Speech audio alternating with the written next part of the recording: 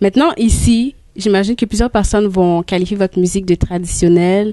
En Tunisie, ça doit être différent. En France, comment vous, vous percevez ou vous définissez votre musique et comment ils le perçoivent en Orient et en Occident? Alors, je sais pas ce qu'on a fait là, mais j'espère bien qu'ils vont pas prendre ça pour la musique traditionnelle, quoi. C'est vraiment un mélange de rock. Parfois, on sent que c'est très rock dans l'énergie, dans, dans les rythmes et tout.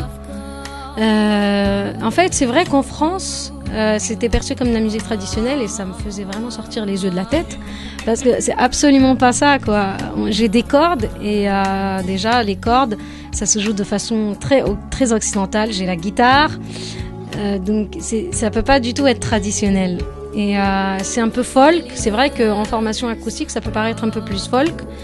Euh, j'ai jamais été très très très bonne pour décrire véritablement ma musique parce qu'en fait elle émane de c'est elle émane de plusieurs styles différents c'est une mixture et je pense que sur le nouvel album qui va paraître en janvier j'ai vraiment réussi à définir un style qui va absolument pas être confondu avec la musique traditionnelle c'est vraiment très rock c'est très électro c'est euh, très euh, musique de film, parfois c'est glauque. C'est euh, donc j'ai pris la musique euh, classique occidentale qui a bercé mon enfance.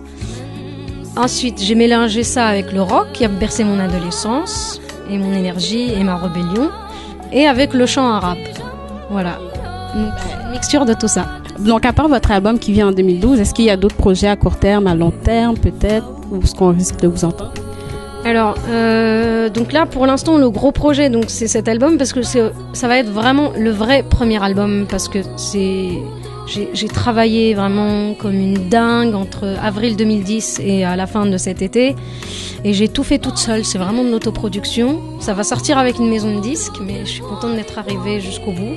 Et euh, en fait, il, va y avoir des cordes, violoncelle, alto, violon, beaucoup de percussions, des percussions argentines, des percussions maghrébines des samples d'instruments de, maghrébins comme le gombri, qui est l'ancêtre de la basse, avec une euh, peau d'animal, euh, la flûte en roseau, euh, les carcabous, puis aussi j'ai utilisé les, les, sons de la rue, du marché en Tunisie, du souk, euh, la voix de Ben Ali, la voix de Moubarak, euh, la voix du peuple.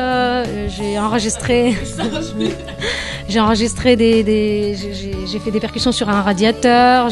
On a fait des rythmes sur la moquette. J'ai fait des beatbox avec avec ma voix.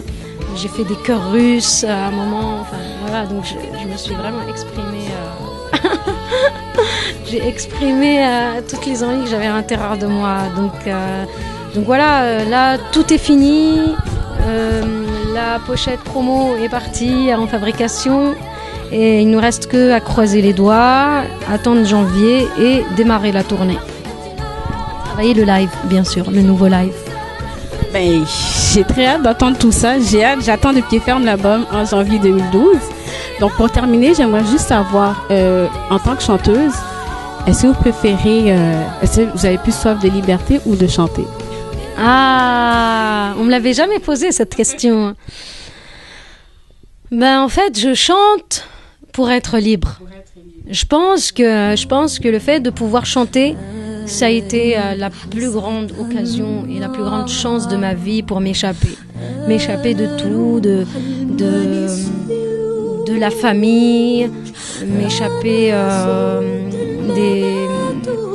de la censure, euh, m'échapper des conventions, m'échapper des traditions.